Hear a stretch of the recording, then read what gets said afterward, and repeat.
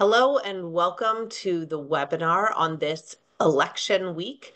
This is the One Voice Public Policy Monthly Report uh, webinar. This is a production of PMA and NTMA. I'm Caitlin Sickles. Um, I'm at the Policy Resolution Group at Bracewell. Paul Nathanson, also from Bracewell, will join us later in the webinar. And the webinar will be led by Omar Nashashibi um, from Inside Beltway. There's much to cover, as you might imagine, here on election week from Washington. Uh, our two teams here are both the on-the-ground lobbyists um, here for NTMA and PMA, and also uh, Paul and I do public affairs and, and strategic communications for uh, both associations under the One Voice banner. Uh, much to cover about uh, the election results, of course, but also the impact for manufacturers. And uh, though the um, we will spend some time thinking about the new administration and the new Congress. That doesn't mean uh, that there's nothing to report that's happening now, because certainly things are still happening as in these waning days of the 118th Congress and the Biden administration. So we will talk about that as well. Uh, this webinar, there's so much more content than we really get to in the time. And so um, these PowerPoint slides are really um, this this slide really tells you everything that's included in this deck and do uh, feel free to find it and download it and look for all of these specific topic areas that we may not cover in in um, too much detail today just for the purposes of time. So do uh, find that deck and um, look for the information. You can find it both from pma and ntma and on the one voice info website if you're looking for that. Um, all right so, Omar, um, we, you and I were just recently together at the NTMA Engage conference where we looked at lots of different scenario plannings for different uh, possible election outcomes. But now the election outcome is known. Uh, the former president is President Trump is now President-elect Trump as he sets to return to the White House. Um, I will turn it to you to tell folks a little bit about what they ought to know about the election results. What were you watching for? What did you see? Um, I'll go to you. Well, and back and forth too, as well. Sure. You're right. We just sure. recorded our podcast the other day, and a lot of this is let's look back to one of the slides we did have in some of our previous district chapters and then engage meetings where we did have one where we envisioned a scenario where Donald Trump had 312 electoral college votes, and we might right. actually That's be there. the point. If you show people a lot of different scenarios, you're bound to be right, and here we are. That's right. We learned from our mistakes, Caitlin, in 2016. As we looked at the map, though, it was one of those scenarios where she struggled across the board, struggled in Michigan, in Wisconsin, in Pennsylvania. Many of us did feel that there were some challenges there. The trend lines do show that she's also potentially going to lose Nevada and Arizona. And just a few of the takeaways from how we got there. And I think now the final turnout numbers, Caitlin, are coming in a little bit higher than 152 million, but you have to adjust for population. We're still at lower turnout for this election cycle than we were for the last one around. But most importantly, it seems that Harris lost in virtually every demographic. She lost, uh, oh, she underperformed Joe Biden in virtually every county in the entire country, except for a handful that's out there. But really, when you take a look at some of the voters that were there, Trump did increase his share of non white, non college voters. He did win a majority of Latino males. Harris only won women by nine points. Clinton won her by 15 points, and Biden won women by 11 points. The the black voter is is something they did come back a little bit more than some of the polling was there, but she underperformed in that space as well, Caitlin. So it's all these different demographics across the board. It's very difficult for somebody to win when you're dropping in some of these key demographic areas. I think that's right. I mean, I think there we can look at it two different ways, right? You can look at um, she uh, um, Kamala Harris underperformed Joe Biden um, among key demographics, but also uh, Donald Trump improved his performance with nearly every demographic group nearly everywhere. And so um, it's not just that she underperformed, although that, of course, is a factor, but it is also that he um, significantly improved his standing, uh, which I think um, turned out to be the the really defining factor. Um, in the campaign. I think this slide that you have is really interesting um, and certainly let you speak to some of the details. But one of the things that I think is um, interesting was, you know, the fundamental reality for her that was the challenge from the start is that it was clear from Biden approval numbers um, and the, you know, sort of always key indicator of do you feel like things are getting right track, wrong track, right? So if you have 70% of the country saying they're on the wrong track, then you it's clear you need a change candidate. And it's very difficult to um, depict yourself as a change candidate when you are part of the sitting administration. And that was always going to be a challenge um, for the Harris campaign. And certainly the results indicate that they just were not able to make the case um, that she represented change. Um, certainly not sufficiently enough. And and he uh, he being Trump here really was able to articulate a change message in, a, in an effective way. And I think that is also another really important factor. No, you're absolutely right. We talked about this even over the summer, is that she had to be the change candidate and they had to make it a referendum on Trump. Well, right out of the gate, the Trump folks for the first six weeks really worked to define her before she had the chance to define herself. So now it ends up looking like Trump is the candidate of change. And that's really what a lot of voters wanted. But I think you're right. She just could not outrun Joe Biden, especially for voters where the economy was the number one issue. When two thirds of the voters rate the economy as not good or poor, and 70% say the country's on the wrong track, it's really tough. I mean, Kayla, not to turn this into a podcast, but I've, I've been thinking about this too. Could any Democrat have beaten Donald Trump, or did it really matter? So everyone's looking for somebody to blame. Is it Joe Biden because he didn't get out too early?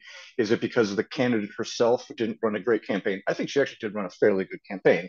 I just don't think you could change the voters' minds on the economy, on the price of eggs, the price of gas, the price of milk.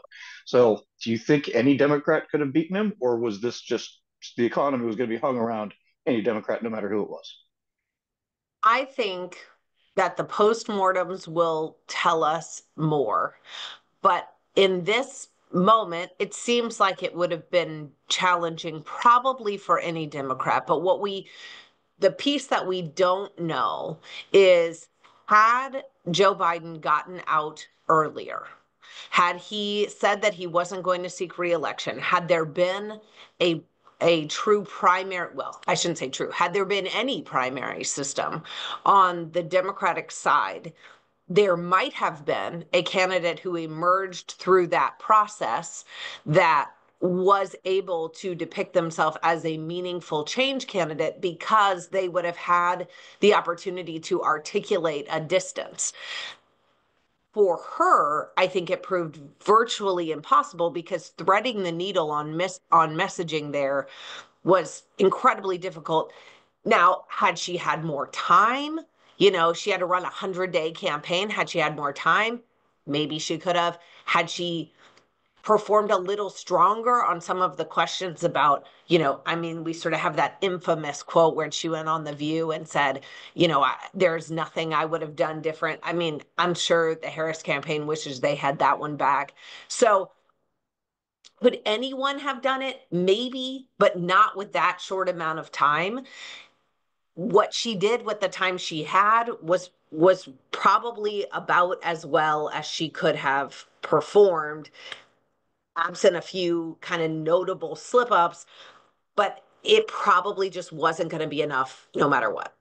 Yeah I, I, tend to agree with you too on that especially she just wasn't early on wasn't willing to criticize joe biden. She didn't create enough separation between herself and this current administration in which she serves and that obviously was a very difficult task to ask of anybody. And that they needed to distance themselves from Biden. As you take a look, that not until really the last week of the campaign did Harris switch and start talking about the economy. She had been focused on Trump. And we saw this in 2016 that you can't just be against somebody, you've got to actually be for some issues here. So we're going to continue to go through a few more here. We just wanted to flag a few things on states and especially on the turnouts.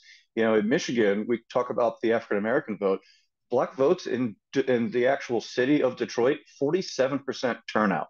That's just incredible. And if you look at Dearborn, where he won, Trump won by six points, Kamala Harris underperformed Joe Biden in the city of Dearborn, Michigan by 36%. Jill Stein got 18% of the vote in Dearborn, Michigan, which is the highest concentration of Arab American voters in the US. So even in Michigan, she really had some struggles in some of those key counties. And, you know, Wisconsin, Caitlin, that's another one where looking at the, the black vote and the economic message that Trump was putting forward seemed to be seemed to be working. Yeah, I mean, it's clear that the entire blue wall states, you know, the so-called blue wall states, um, the the message from the Harris campaign did not penetrate as effectively as the message from the Trump campaign. I think that the early indicators are what you're suggesting, which is that ultimately it came down to pocketbook issues. Um, that's certainly a part of the puzzle. Um, I think there were also a number of ads run, significant financial spend from the Trump campaign run on social issues. Um, and it's yet to see, you know, with the postmortems on the of the campaign, whether those move the needle, whether it was the economic issues, really ultimately can we decipher? In the end, um, economic issues and and social issues may not ultimately be as as different as maybe a, a um, Democratic campaign has always believed them to be, or has has in recent history believed them to be. So I, I think it's probably too early to know exactly what moved the needle in any given state, um, but certainly it, what is true is that the Trump messaging um, eroded into the share of Democratic voters in in the blue wall states and across the country. I think you're right. I think that before we jump over to the House and the Hill right now, I think the final takeaways will be the economic message resonated with women in particular that are most on the front lines of looking at cost of a household and also with minority voters. And I think social issues really help motivate those infrequent voters that let's just describe them as 18 to 35 year old white males.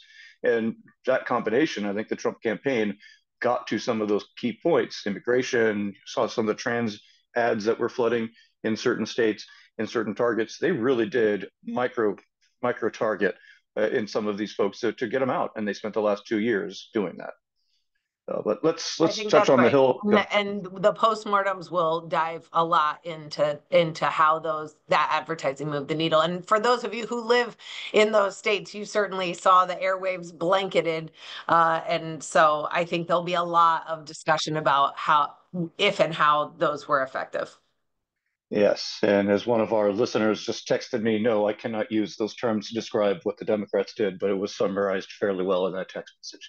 Uh, we did want to flag a couple things here for the House of Representatives and the United States Senate, and we take a look at where we are on some of the races. Again, we try not to get too political on this uh, on this webinar. We're going to shift over to the regulatory and the policy issues at about uh, 12:25, so in about 10 minutes or so, 15 minutes.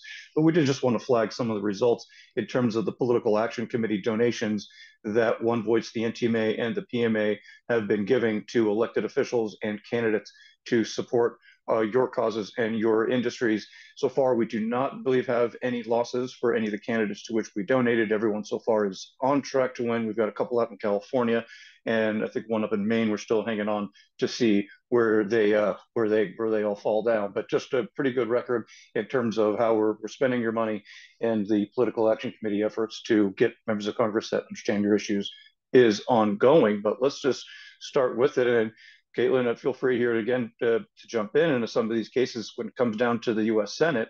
I think the final numbers are probably going to end up being 53 to 47, is my guess. Uh, Pennsylvania got called, obviously, after we put this deck together. Um, I think that Arizona, we know that's going to be Democrat. Nevada, I think she, the Democrat hangs on there and Jackie Rosen. And so I think that's how we end up at, at 53 47, which is a very, very good night for Republicans to capture the Senate and give them some cushion, not only in legislating, but also when it comes to 2026. So, Caitlin, I think in some of these places, we knew it was going to be tight Michigan and, and Wisconsin. So I mean, I'm thinking back to our our presentation at the NTMA Engage conference, and I mean, this uh, flip in the Senate, we were both fairly confident was going to happen. I think um, sort of that was the uh, Washington intel, at least. And you know, I mean, I think this is here's why this was a predictable outcome you had senators holding on to seats um, in states that have been going red increasingly uh, for a long time. And I'm thinking there of Sherrod Brown in Ohio, uh, Jon Tester. I mean, it's really hard to swim that upstream against that kind of red tide. And so eventually that caught them and and you know Tammy Baldwin in Wisconsin managed to eke out uh, her victory there. Um, so you know I, I think that was a, a known outcome. I think what you're identifying you know giving them cushion for legislating is certainly true. The other thing it gives cushion for is the confirmed senate or, or you know uh, nominations that require Senate confirmation. So that's what what you guys are all hearing about in the news right now. The Trump transition team um, identifying who might be in cabinet positions, who might be in other key industry head positions.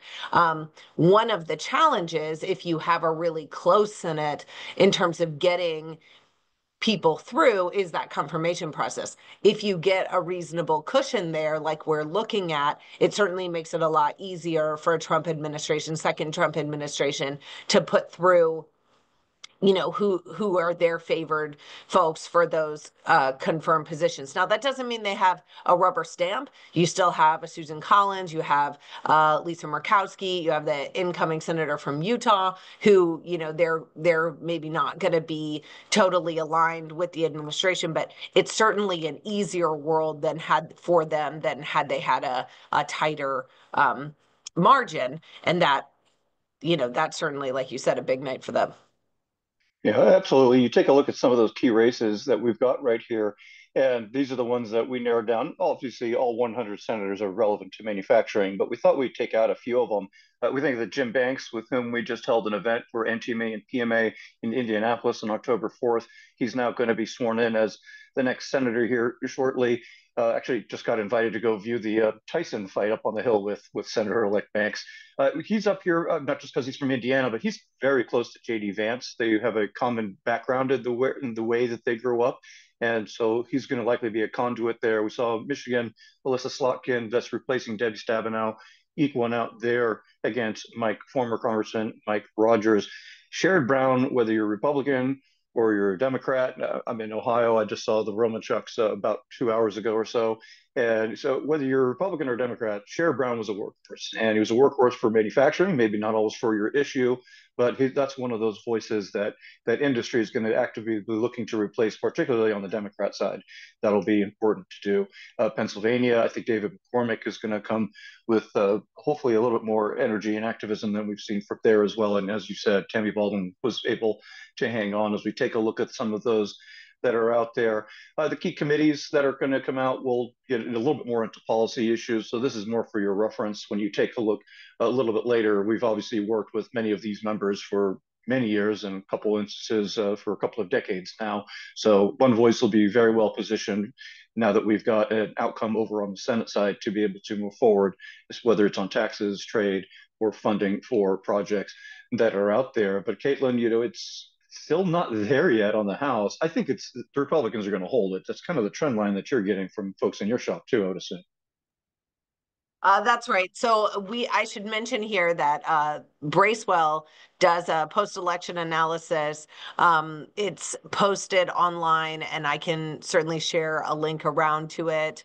Um, also, guest appearance. I, I promised you all that Paul Nathanson would join this webinar, and he is here. I am here.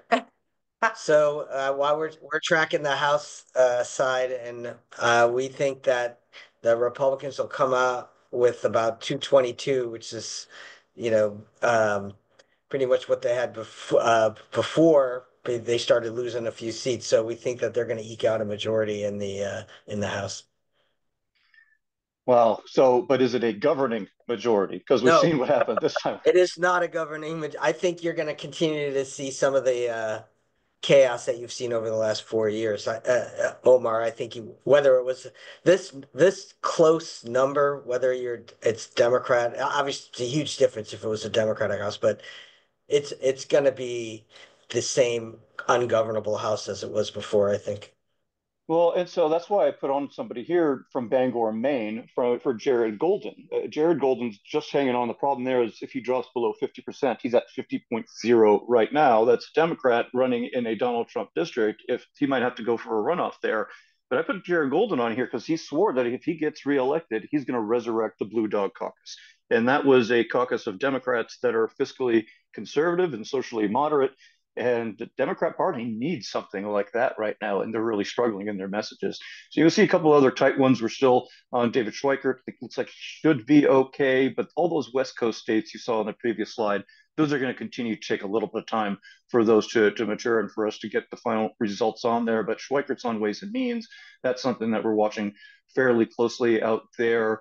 Uh, Democrats did not do well in Pennsylvania. They lost a couple of seats out there in Matt Cartwright and in Susan Wild.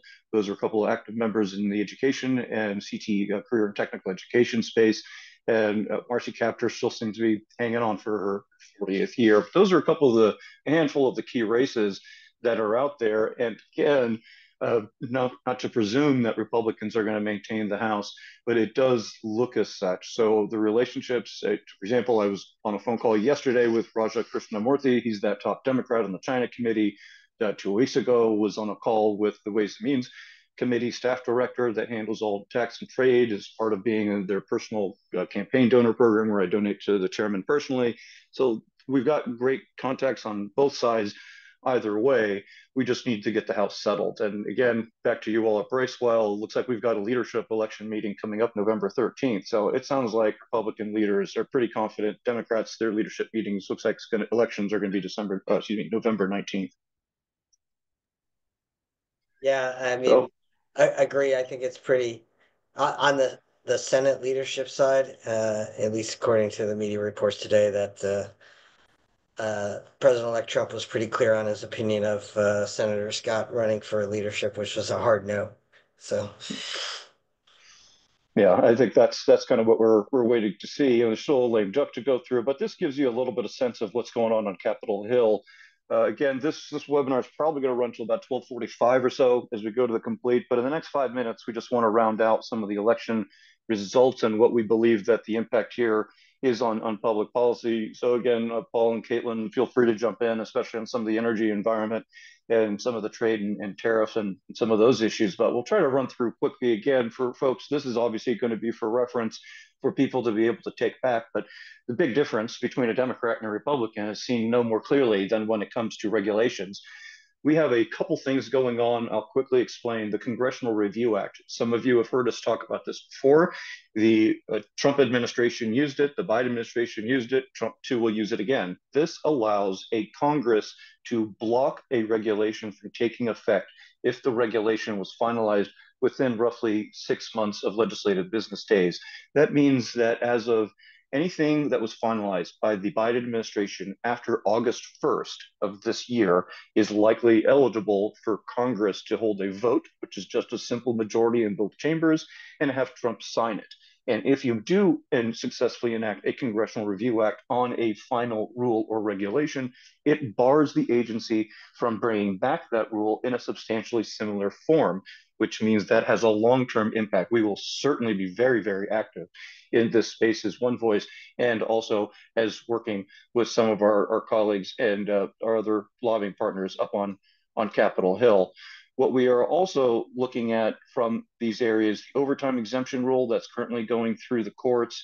We are also taking a look at uh, a few other areas that we think that potentially the Trump administration could come in while the January 1 date is still solid right now for the overtime rule. They could come back and retroactively possibly change that there.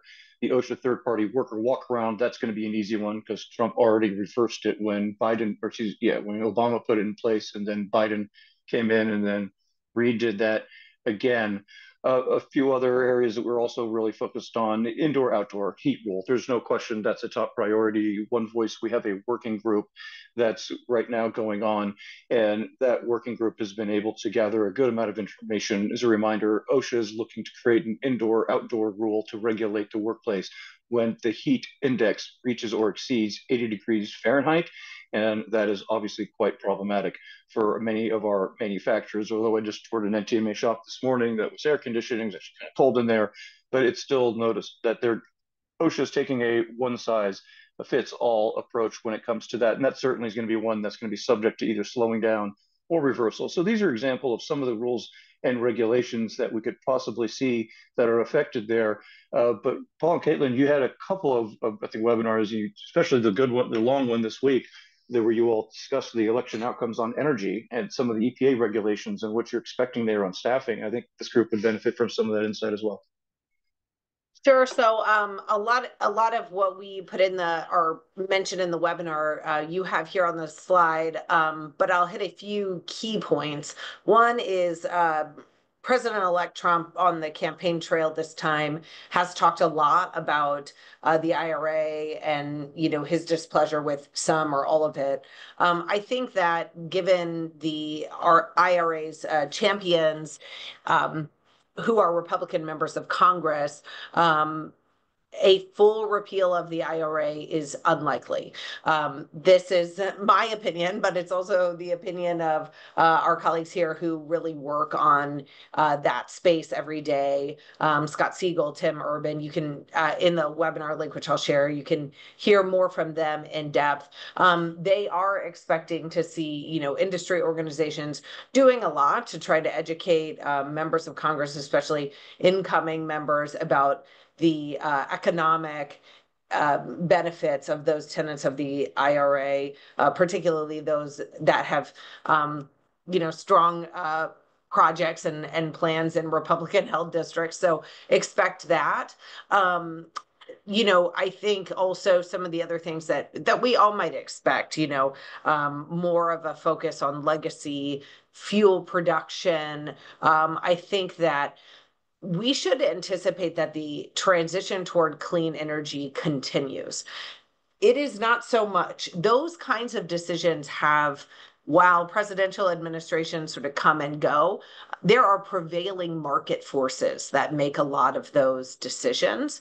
So we should expect that, you know, progress toward clean energy projects will by and large continue.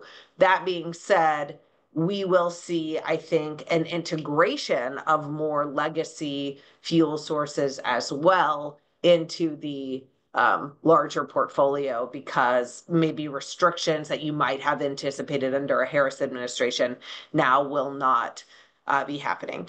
Um, similarly, I think on these uh, climate policies, we may see a shift from the Trump administration, which would certainly call into question, you know, the the U.S. position on climate issues and our uh, sort of stance in in leadership on those issues. So, you know, I, I he's he said that he's going to withdraw from those agreements. We'll see whether that happens, and then whether his that decision then becomes policy. I think it's probably too early to tell on those. Yeah, I think, I think that's right, and especially with the the drill baby drill kind of issues and increased fossil exploration. Even though my understanding private sector is less focused on federal lands as they are on state and private, so you'll see a lot of quick quick activity there. But just one last on on those regulations, though, it's important to keep in mind that many of them are going to be subject to legal challenge, and so whatever Trump does, particularly in the environmental space, we expect states such as California's environmental groups NRDC, Sierra Club, and those folks to file lawsuits that could either drag, slow down, or uh, impact in one way or another the Trump administration's efforts on in the regulatory space. A couple things on on workforce that we just want to want to mention in here is on registered apprenticeship programs. That's something that we've been dealing with for some time. This administration's been trying to do away with a competency-based program for apprentices we filed extensive comments on that. We expect that final rule to probably come out sometime, I would argue, between Thanksgiving and the new year by the Biden administration. And that's something that will continue to go on. But overall, when it comes to workforce, expect additional funding to go straight to the states, usually in block form and giving more flexibility to the states. And this is an area that we will continue to be working with the Trump White House on when they come in. Uh, just the last two areas we wanted to touch on on policy, and then we'll continue with our regularly scheduled program on rules regulations for the month that came in October is on is on taxes. Uh, this will take a minute or so. Uh, maybe just in the interest of time, Paul, if it works for you, I'm going to jump to trade and then I'll go back to taxes because I know you've got to hop off. So, Bracewell, do you want to just jump in here on on trade with Trump since we know this is going to be a day one kind of exercise with with the Trump administration? Uh, sure. So, look on, you know, we're in the era of continuing to have the era of tariffs and more so with the Trump administration than a Harris administration, although a Harris administration would have not been a tariff-free world anyway. So, um, but um, I think the thing to emphasize, I want to emphasize a couple things. One, on steel and aluminum tariffs, I mean, as you recall, those tariffs were originally um, uh, applied by the Trump administration. I am not sure you're going to see a huge difference, although you may see the uh, end of tariff rate quotas with the EU, UK, and Japan. Uh, we're certainly not going to get a, um, uh, I think, for American proposals for a Green Steel Club, but uh, you know the EU's top priority is their CBAM program, which is which continues. Um, but you will, um, you know, that 25% tariffs for steel will stay in place and 10% for aluminum. Um, I think that uh, President Trump views that these, and I think the uh, Harris administration would have said the same thing as the Biden administration that those tariffs have quote unquote been a success, uh, and so you're going to see um, probably large increases in tariffs on China, both using the 301 and other mechanisms. Um, Trump has, you know, has threatened much higher tariffs, and I think that is going to be a, a focus of bipartisan agreement as far as taking further actions on China. Um, I, uh, the other point I wanted to make was the executive branch has a lot of flexibility when it comes to applying tariffs. Um, there was uh, an article yesterday, though, about um, the Trump, uh, the incoming Trump administration trying to work with Congress to have them, uh, for the first time in 100 years, uh, build in tariff increases into legislation uh, that would uh, be part of the large tax reform, that tax package that has to be passed. Um, so that was just one possibility. There's a lot of uh, obstacles to that, but we'll see what happens. Um, I think the point, Omar, and I'll turn it back to you. Well, uh, one point you can, I'll, I'll leave USMCA because you talk about that a lot. I'll leave that to you. But one point is just because that there's going to be tariff increases, that doesn't mean there's nothing that can be done if you are uh, part of the global supply chain. It just means that, and I'm sorry, I think the vice, the president or vice president is coming by our office here, but um, it just means that your supply chain will continue and even more so run through Washington D.C. Um, and that you need to be here and you as far as you need uh, to communicate with your elected representatives through one voice and uh, with uh, policymakers in the incoming administration because there are ways to uh, minimize tariff impacts or to ensure that the tariffs that are applied are to your advantage and not uh, to uh, others' advantage. Thanks, Omar. Okay.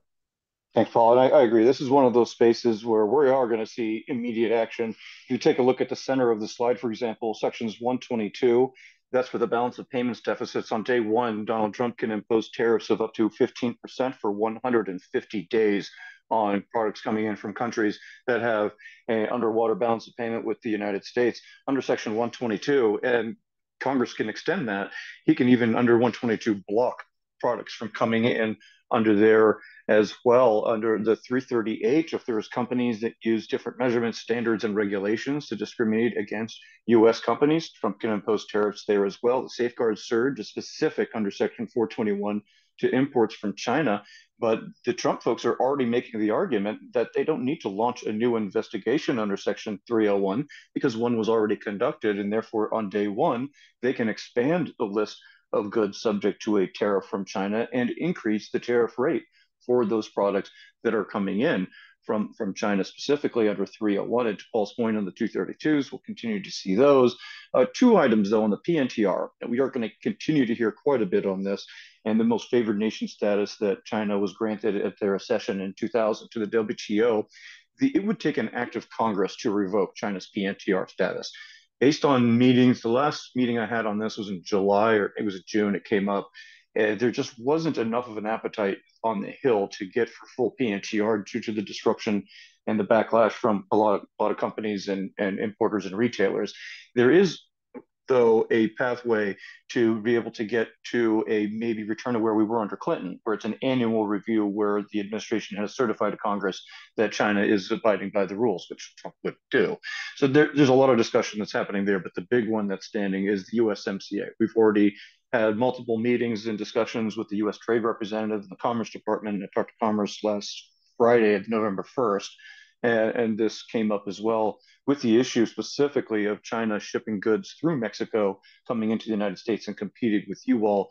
And more concerning than that is the amount of investment, foreign direct investment by China that's going into Mexico that's leading to operations owned by Mex- by Chinese companies manufacturing in Mexico often using Chinese tooling, Chinese labor, and being able to ship into the U.S. without having to pay a tariff. And that's one of those areas we do expect some additional additional action. On day one, tariffs will be very, very active. And this point that we wrote here at the top is that I would not suggest I would suggest folks do not think of tariffs like we had them under the first Trump administration, where they were leverage and a means to an end to bring partners to negotiate with him. I think this time around, we're looking at tariffs being a part of industrial policy unto themselves, meaning they view that tariffs being in place are good for U.S. domestic manufacturing, and that will be a boost to U.S. industry. I'm currently reading Bob Lighthizer book I'm on chapter eight right now, getting through that. It's critical to get a better read of what the Trump administration is going to do because they literally spell it out in a book titled "No Trade is Free." Uh, just a reminder for those that have questions to ask, please do type them into the, the question and answer box, and we'll try to work those and incorporate those. The one on 45x, yes, uh, we've got two slides on 45x coming up in the second half of the slide deck. I know we had one hand raised, similar. If you don't mind, please type that in here and we'll try to continue and going through it. But no other way area will we be as busy as taxes. This is where we've spent much of our lobbying time to to move on and to see uh, some of the issues on is on is going to be on taxes. If in fact the Republicans do have the trifecta, the House of Representatives as part of it, then we are going to be moving through a process called reconciliation. Reconciliation is how Democrats got Obamacare done. Reconciliation is the process by which Trump got the Tax Cuts and Jobs Act of 2017 through. Did not require any Democrats to jump on the tax bill, similar to Republicans on the health care bill. Republicans would do this again, and they would try to move, at least in the House, in the first 100 days. Uh, maybe. Uh, we'll see if they can get it done in the House by April 15th.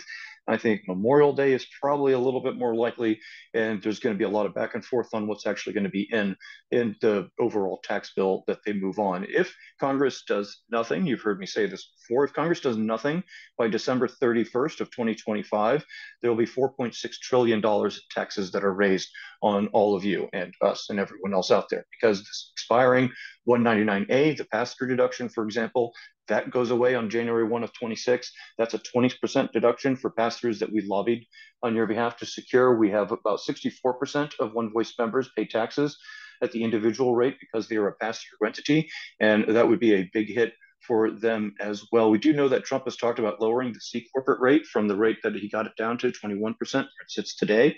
That's going to be a little bit more difficult. I could see him differentiating between domestic revenue, domestic production activities, for example, and maybe expanding the domestic production activities deduction that we used to have around until FSC-ETI.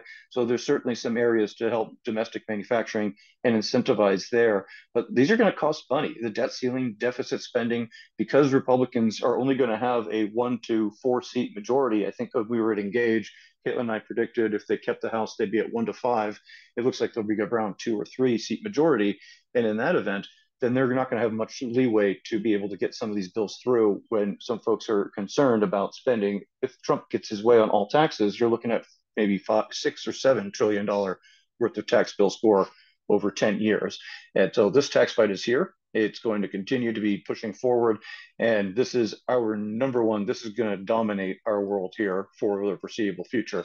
And there's a lot at stake, especially with the trillions of, of tax increases that are on the table that are out there. Again, on taxes, feel free to type in any questions in the Q&A, and we'll be sure to, to bring those up to the end. Let me go back to the uh, to the trade slide. We did have one question that uh, have been there with regards to how do we go about communicating the products on which we would like to see tariffs. Our products have been knocked off by China, and we have seen a subsequent 50% reduction in volume of those products as a result. And that's something that unfortunately we've heard from others as well. Uh, feel free to reach out to me offline and we will double check that those products are currently subject to tariffs. If so, they're likely at 25%, meaning they're going to be on list one or three uh, from the 301 action. And our argument to the Biden administration and will be to Trump is 25% is nothing. When you're looking at some tooling, you're seeing some other machine products that are coming in from China at a 40 to 70% price cut. That is going to be real problematic. My greater concern to the person who asked the question isn't just the goods coming in from China, but to be goods that are manufactured by Chinese with Chinese tooling made in Mexico and shipped into the US. And that's a lot harder for us to place a tariff on it. So, yes, we will. Step one is to confirm. We can certainly point you in that right direction of the docket where we can confirm that a tariff is in place. But I think that is right there as an argument in of itself why we need to continue our efforts lobbying and pushing the Trump folks to get us a higher tariff that's out there. In the geopolitical sense, this is a slight warning for some of my defense folks that are on here that we talk to on occasion about defense industrial base. We think that Trump will be good for the defense industrial base. Obviously, we have a lot of uh, replenishing and restocking to do, certainly as the, the Biden administration has been working on those efforts as well. But keep in mind that the Europeans are going to seek to decrease their reliance on the United States, particularly as it relates to defense industrial base and supplies. So we do expect an increased investment in European uh, defense suppliers, and that will obviously means they'll be taking some, not a lot, but some likely away from the U.S. as the Europeans start to look internally as they want to minimize their exposure to Trump and some of the policies that are coming over there. So that's something that we're watching. The other area on, on the slide that we're looking at is going to be on retaliatory tariffs. We've already seen uh, in this in a number of spaces uh, with regards to imports that are coming in from uh, from overseas and during the Trump administration, where tariffs were imposed in an effort to battle some and retaliate against the US under 232s. India did it as well, the Europeans, China. So expect that again, but China's got less exposure. So, for example, now Brazil is the largest supplier of soybean into China. It's no longer the United States. And so they've taken steps to minimize some of the retaliatory exposure that they've got, but we do expect that to happen also relatively quickly. And the steel and aluminum, the deal we have with the European Union expires at the end of March, meaning the Europeans in their minds will be free to reinstate $4 trillion worth of tariffs on US goods coming in from there. Congress is returning. This lame duck session is going to be a bit tough. We'll see if they do an extension on government spending by December 20th when the government shut down, or they actually do a full funding of the government to clear the decks for Trump. I do believe they will clear the decks for Trump and do get a bill with government spending done in this lame duck. I do not. We're feeling less confident about what's going to happen on the uh, on the tax side if we're going to get an R&D and a bonus depreciation fix to at least patch. It does not look like it at this point. It looks like that Senate Republicans are going to want to hang on until they are in charge. That's over there. Uh, that concludes that first part. This we're going to do in about seven ten minutes. We're trying not to take up too much of your time, but as you know, every month we do like to put out what is the latest that in the regulatory space in particular that we believe that you all should be aware of. And that's what we're going to present here just quickly again for your reference so you can have it. We've had a lot of questions on CMMC. That's the Cybersecurity Maturity Model Certification. This is CMMC 2.0 is now out for your reference the next four or five slides that will cover what you need to know for those of you that are it have to respond in terms of this Note that CMMC 2.0 requirements are going to start being included in contracts and the requirements are going to start being effective on December 16th. For those that are not initiated to what this is, this came up at the last days of the Obama administration and began being implemented during Trump, where defense contractors and some others are required to have certain cybersecurity provisions and in their shops and certain policies that are there to prevent the obvious that's the concern is that they're not going to hack into General Electric and steal the, the plane for a plane engine. They're going to hack into one of the NTMA or the PMA members and create vulnerability there. The main key, main key point for you non-defense folks, please don't tune out. We do believe that these types of cybersecurity requirements are coming to you as well, particularly if you have a publicly traded Fortune 150, 100, 500 somewhere in your supply in your customer base this is the, the simplest of slides for you to take a look at when it comes to CMMC compliance. And keep in mind, I've heard from some of you all that I see on this call that you've received quotes for anywhere between $100 and $300,000 to create a CMMC compliance model that's out there the main thing that the new and final rule that did, and the difference between CMMC 1 and 2.0, is they consolidated the number of levels from having five previously to a 1, 2, and 3. And you'll see here that the different uh, items that start to you have to require goes under the NIST. We got the NIST 800 that is going to be in there, combining with some of the other requirements as well when you put in self-assessment. Ultimately, the some of the main differences: self-assessment, third party, versus getting the government. So obviously level three will be the highest that's out there, and that's going to have the requirements of a number of those different provisions that they've been putting out over the last few years. So again, streamlining the models, we've got some more information on compliance on CMMC. They've heard from us. We've talked to DoD and told them how this is extremely difficult for compliance. They've told us that it should be an allowable cost for a subprime to build back up. We've talked to them about the difficulties small businesses face there as well. But again, who must comply? All DoD contractors and subcontractors that are handling some of the uh, classified and unclassified information that's there as well. Again, prints, think of all of those plans, blueprints, all of these things, even just some email communications about capabilities. All of those information, the controlled unclassified information, is one area to be focused on. Again, these will be made available as always for you to, to review and take a look at the different assessments that you've got to do in order to achieve a certain CMMC compliance standard as different contracts will have different requirements from the customers that are out there. And you can take a look at the plan of action that is required, what is permitted under the new different levels for CMMC. So we suggest that you've got whoever's handling this in your shop afterwards, please take a look at this and you've got additional compliance resources. We will have that in the webinar registration email that goes out after this with a copy of the slide deck. So we'll make sure that everyone's got that as well. Just finally, in our final section here, before we wrap it up again, feel free to ask any questions just on the latest in terms of regulations and rule activity that we receive from the regulators. We expect them to step on the gas quite a bit here in the waning weeks of the Biden administration, especially over at EPA, OSHA, National Labor Relations Board, before there's some changeovers. So we do expect a flurry of activity there. One area in the courts the court has blocked the Federal Trade Commission from being able to move forward with their non-compete ban that they wanted to put into place in September 4th. Now the FTC is expected as challenging that non-compete, and uh, it also has non-solicitation and non-disclosures that will continue to work its way through that process. But we have also seen now the administration took a look at how they can move forward. NLRB is targeting stay or pay provisions. I this one I, I'm not an attorney. I think a trade lawyer is going to probably need to review some of the agreements that you might have with employees where you have offered to pay for their uh, for sign-on bonuses based on duration of them staying. If you've paid for employees' education, for example, and you've told them they have to repay if they don't stay for a certain amount of time, all of these other quit fees, damaging clauses, training, repayments.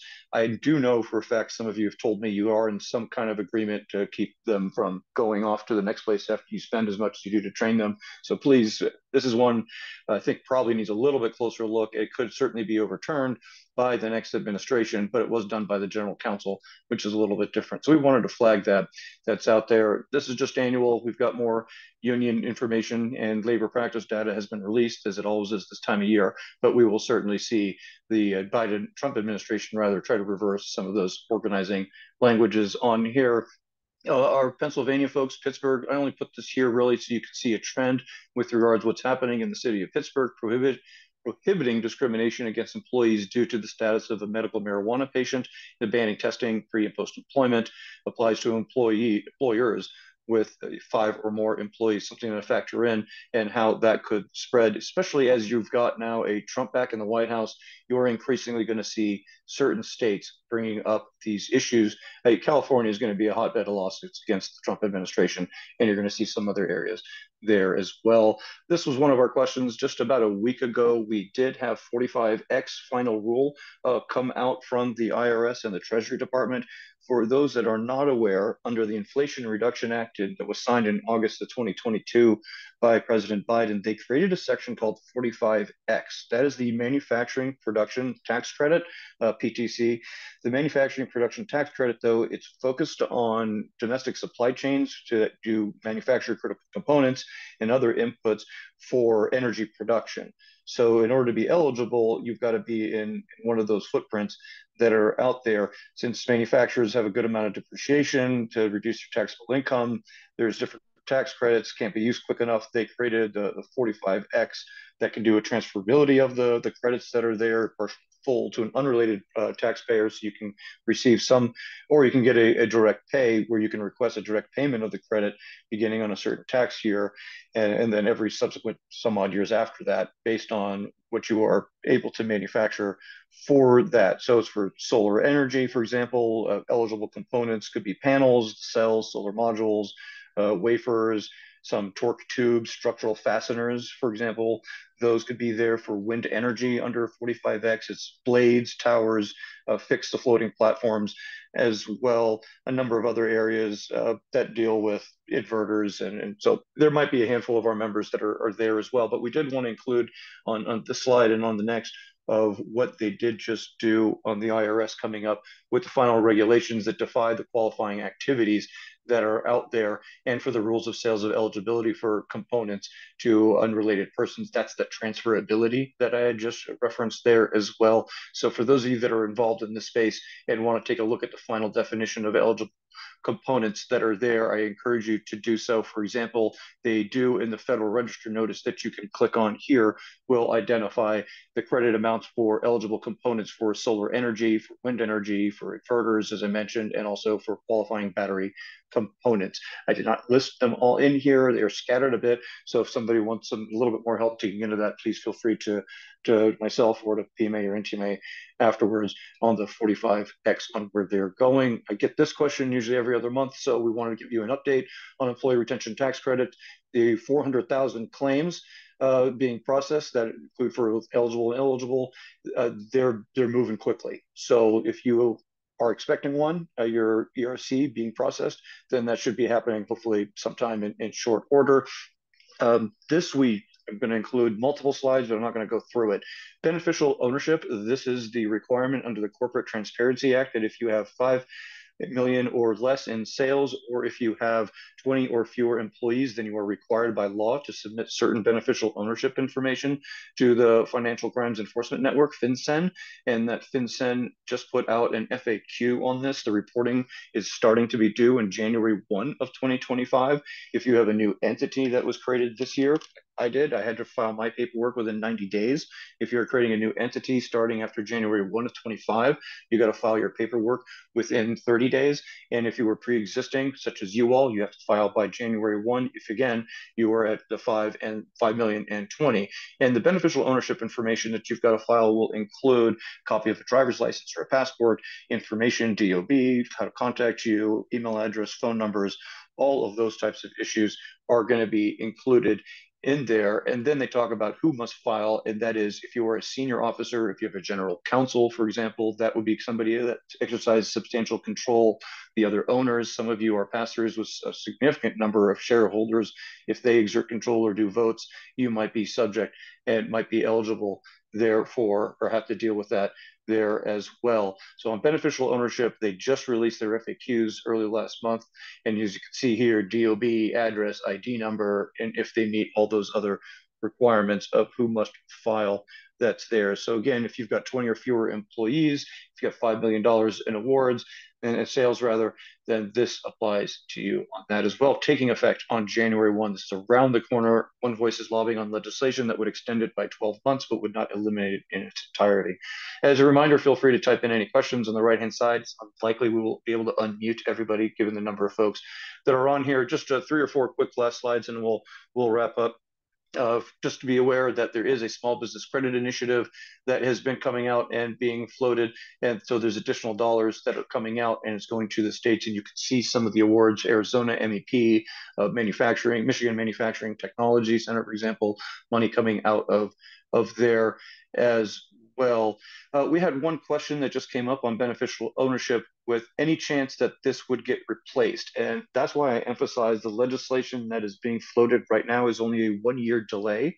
This was a legislation on Corporate Transparency Act that was done in the waning days of the Trump administration. It was inserted into the defense bill.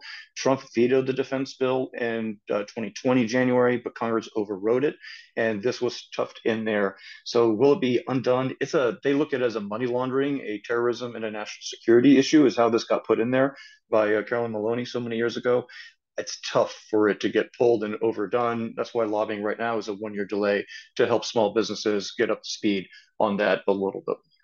Uh, speak to small businesses. If you do have one of these 401k plans, you did just have your limitation increased just slightly to 23,500. Please be sure that you've got that incorporated. Someone will obviously do that for you.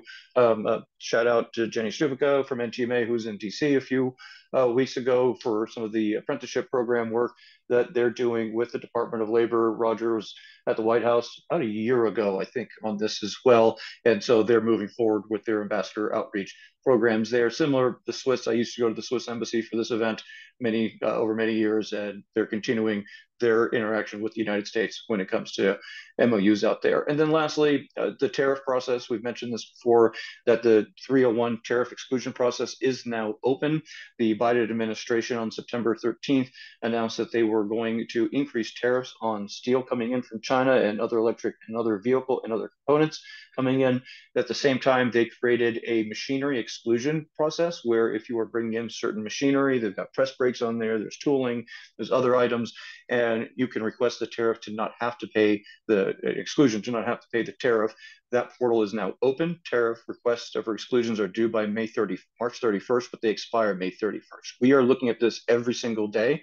If anybody is going to be filing a request for a certain product that one of our One Voice members makes, we intend to launch a campaign to oppose that in order to maintain the tariff on those products. And you can see here, this is a snapshot of the portal where we've got the temporary exclusions for machinery used in domestic manufacturing. And then lastly, the Biden administration did finalize their outbound investment rule that restricts what can be sent over and how can be invested in China in their efforts to restrict that. Similar, and then last on the CFIUS, more real estate around bases are going to be subject to review and purchases. So we expect all of that to be continued under a Trump administration to go in hyperdrive, certainly on China issues.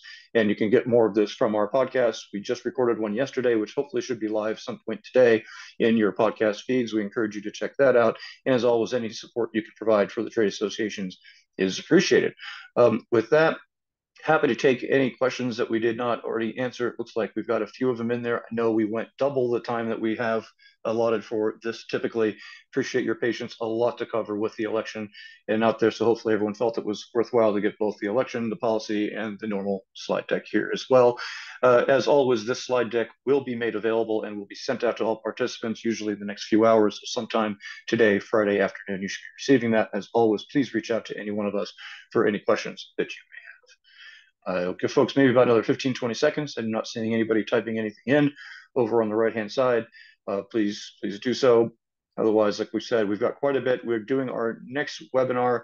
Uh, it's going to be, I believe, that first Friday in in December, so that might be around December 5th or so, wherever that falls. in December 6th uh, is are going to be our next webinar at noon Eastern that day. Seeing no further questions come in, thank you all for joining us today and your patience on a longer slide. Um, congrats on getting through election week and election year.